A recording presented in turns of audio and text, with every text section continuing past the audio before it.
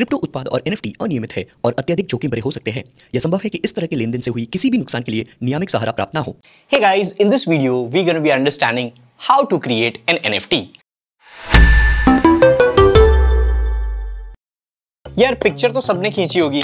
Laptop या desktop पे paint होता है उसमें ड्राइंग भी सबने किया होगा। और क्या आपने कभी ऐसा सोचा था कि वही पिक्चर खींचने का या तो वही पेंटिंग ड्रॉ करने का आपको पैसा भी मिल सकता है?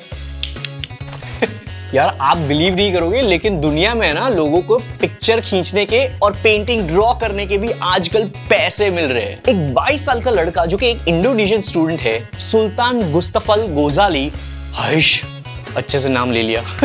यस yes, ये 22 साल का जो लड़का है, उसने अपनी हज़ार सेल्फीज जो कि उसने पिछले पाँच सालों के अंदर खींची थी, उसी को एक एनएफटी कलेक्शन के रूप में ओपन सी पे जाके लिस्ट करके उसके ये कलेक्शन की इतनी सेल्स हुई कि वो रातों रात मिलियनियर बन गया। तो एनएफटीज क्या होते हैं और आप कैसे उसको बना सकते हो, ये हम समझेंगे इस वीडियो में एक रियल एस्टेट एग्ज़ाम्पल के द्वारा। तो NFT का फुल फॉर्म होता है नॉन फंजेबल टोकन NFT को समझने के लिए, यानी कि नॉन फंजेबल टोकन ये शब्द को समझने के लिए हम पहले समझेंगे फंजेबल क्या होता है और नॉन फंजेबल क्या होता है। तभी तो हमको पता चलेगा ना कि भाई NFT क्या है। तो फंजेबल का मतलब ये होता है, वो चीज़ें जिसको आप अगर ये हाथ से देते हो और इसमें एक एक्स वैल्यू है तो वही चीज़ जब आपको वापस मिलती है, लेकिन एक दूसरे फॉर्म में मिलती है, लेकिन वैल्यू उतनी ही है तो उसको हम बोलते हैं फंजेबल एग्ज़ाम्पल के तौर पे, आप ऐसा समझो कि आप कॉलेज में हो, आप कॉलेज में अपने दोस्त के साथ बाहर घूमने गए हो,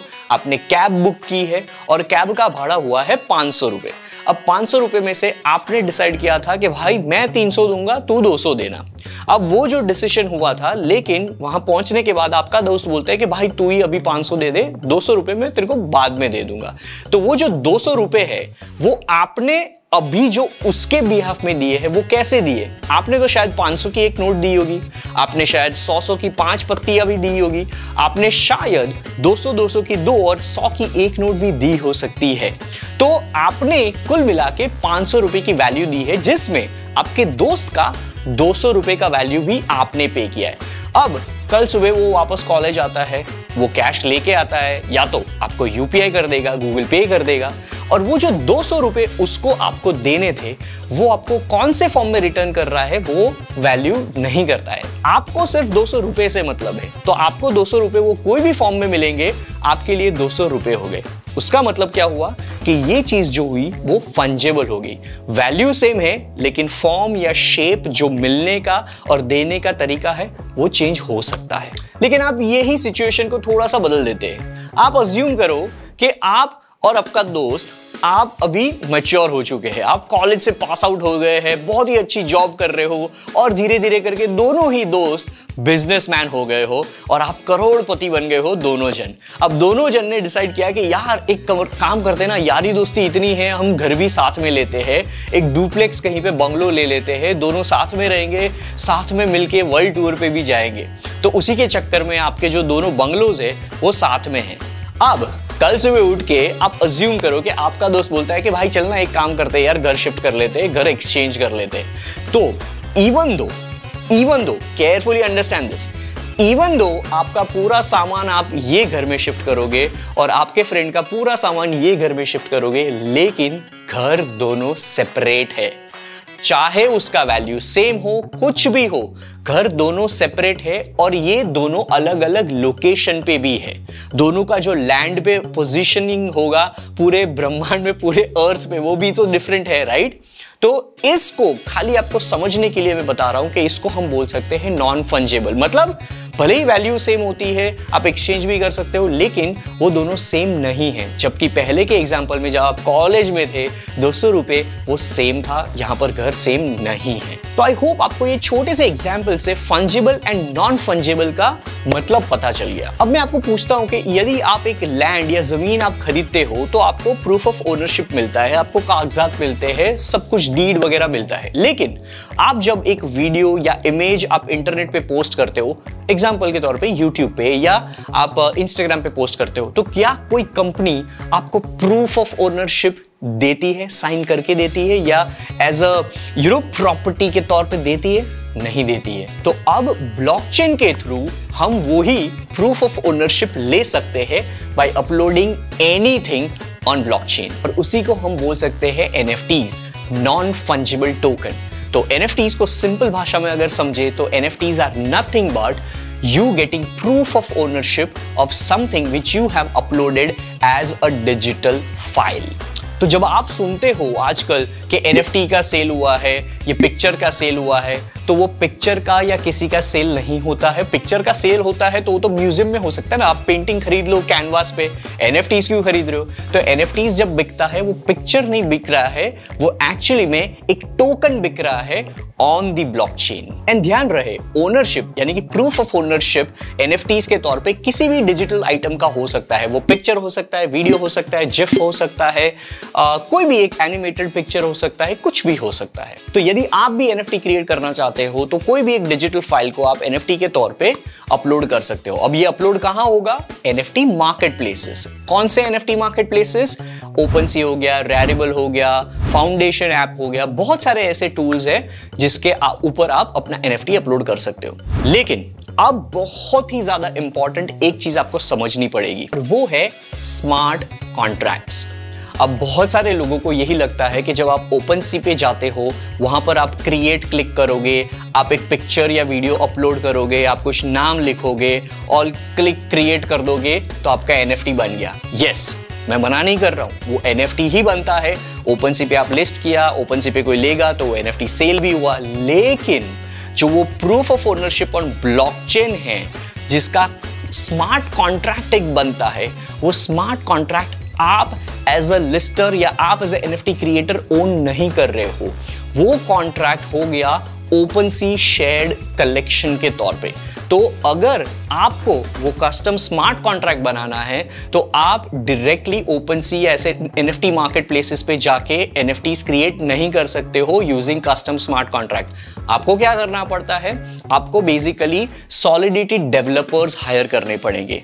एग्ज़ाम्पल आप कोई भी फाइवर या अपवर्क में जाके सॉलिडिटी डेवलपर सर्च कर सकते हो और वहाँ से किसी को हायर करो, उनको बोलो कि मुझे ये हिसाब से कस्टम स्मार्ट कॉन्ट्रैक्ट बनाना है, वो आपको बना के देंगे and then they would deploy that they would import the smart contract on OpenSea और फिर वो जो एन आपका ओपन सी पे होगा, उसमें आपका कस्टम स्मार्ट कॉन्ट्रैक्ट होगा।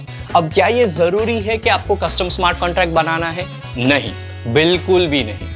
आप चाहे तो फाउंडेशन डॉट ऐप पे जा सकते हो रैरिबल पे जा सकते हो ओपन सी पे जा सकते हो, वहाँ जाके क्लिक करो क्रिएट मेटामास करके आपका जो वॉलेट होता है, वो मेटामास को आप कनेक्ट करो। उसके बारे में थोड़ी देर में हम बात करेंगे और वहाँ पर जाके आप सब कुछ अपलोड करके रेडी कर सकते हो। तो ये भी कोई दिक्कत नहीं है but it's just that brands और business owners who are very serious about their NFT collection और उसके अंदर अगर आपको कस्टम स्मार्ट कॉन्ट्रैक्ट चाहिए तब जाके आप सॉलिडिटी डेवलपर्स हायर कीजिए, उसके बाद अपना एन को यहाँ पर इम्पोर्ट कीजिए। तो इन सिंपल रुपए वाले या लैंड वाले या फ्लैट वाले एग्जाम्पल्स के साथ यदि आपको एन का मतलब समझ में आ रहा है तो प्लीज़ कृपा करके इस वीडियो को लाइक कीजिए सब्सक्राइब कीजिए turn on the bell notification कीजिए एंड कमेंट कीजिए कि आपको ये वीडियो पसंद आ रहा है। एंड आपको फ्यूचर में कौन से तरीके टॉपिक्स एन के अराउंड या क्रिप्टो एसेट्स के अराउंड चाहिए, वो भी नीचे कमेंट में डालिए। तो वीडियो में आगे बढ़ते हैं। एन को क्रिएट करने के लिए सबसे पहला स्टेप आपको एक चाहिए क्रिप्टो वॉलेट अब बहुत सारे क्रिप्टो वॉलेट्स हैं, लेकिन उसमें से मेटामास्क एक सबसे पॉपुलर मोस्ट पॉपुलर है। आप समझो कि शॉपिंग वेबसाइट्स का अगर मैं नाम आपको पूछूँ तो सबसे पहले मोस्टली आपके दिमाग में आएगा Amazon. क्यों? क्योंकि सबसे बड़ा और सबसे पॉपुलर वो एक शॉपिंग पोर्टल है वैसे ही मेटामास्क इथीरियम ब्लॉकचेन पे सबसे बड़ा है एंड द मोस्ट यूज़ है। तो जनरली लोग मेटामास्क ही यूज़ करते हैं when they are talking about NFTs अगर आप सोलाना ब्लॉकचेन की बात करते हो तो वहाँ उनका जो वॉलेट है, वो है फैंटम वो वही तरह दूसरे जो ब्लॉक चेंज होते हैं चेंज होती है, उसके अराउंड आपका वॉलेट चेंज होता रहेगा। तो हम यहाँ पर रेफरेंस के तौर पे मेटामास्क की बात करेंगे और आगे बढ़ेंगे। तो मेटामास्क का वॉलेट सेट करने के लिए रेडी हो जाइए, क्योंकि मैं अपने लैपटॉप पे जाके आपको स्टेप बाय स्टेप दिखाने वाला हूँ कि कैसे आपका MetaMask wallet step by step आप क्रिएट कर सकते हो। Setting up your MetaMask account, you just have to visit metamask.io.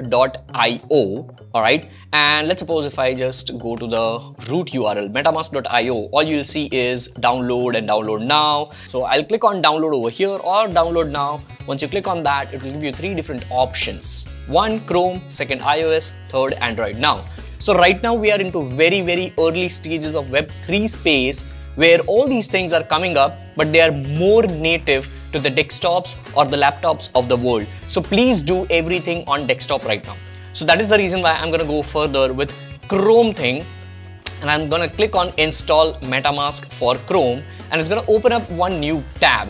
Now, when it opens up, you can see I've already installed. So because of which, I've just created one guide over here that if you have not done this, then what you will see.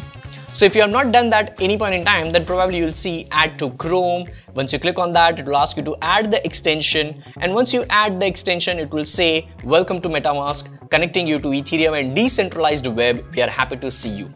Click on get started and then you will have two different options. So this is the option which you will select. Create a wallet because you have never done this. Create a wallet, click on that. And once you do that, click on I agree, which you'll see like this Clicking on I agree, it will ask you to set up your password, minimum 8 characters and agree to the terms.